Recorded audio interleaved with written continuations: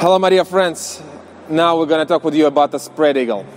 Spread eagle, quite easy element to learn and practice, but it's quite hard and tough for not flexible, for not flexible people like me. For, so now I'm gonna show you two ways how to do the spread eagle.